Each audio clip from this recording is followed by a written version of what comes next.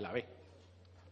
Eh, yo también estoy totalmente de acuerdo en que no haya ningún tipo de suspicacia de que si los familiares del IMASA tienen más prioridad o no de trabajar. Por eso quiero hacer una enmienda de adición, si puede ser, en que todos los grupos estemos de acuerdo de suscribir que se retiren todos los puntos del convenio del IMASA donde, quede, donde refleje claro que los familiares no tienen ningún tipo de prioridad para entrar a trabajar en la empresa. Muchas gracias. Muy breve, señor Jiménez, no es que sume o reche la pregunta, estoy totalmente de acuerdo con usted, es que simplemente no procede la pregunta.